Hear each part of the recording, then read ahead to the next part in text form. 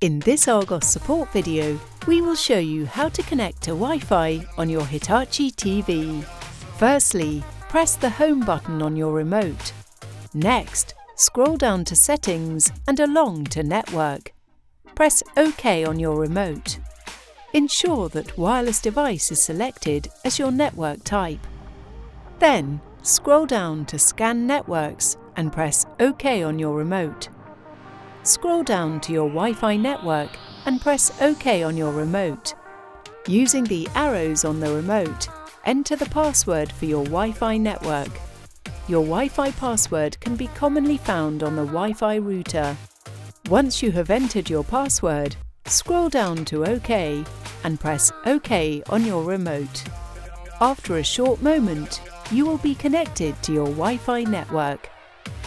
Your television is now connected to Wi-Fi.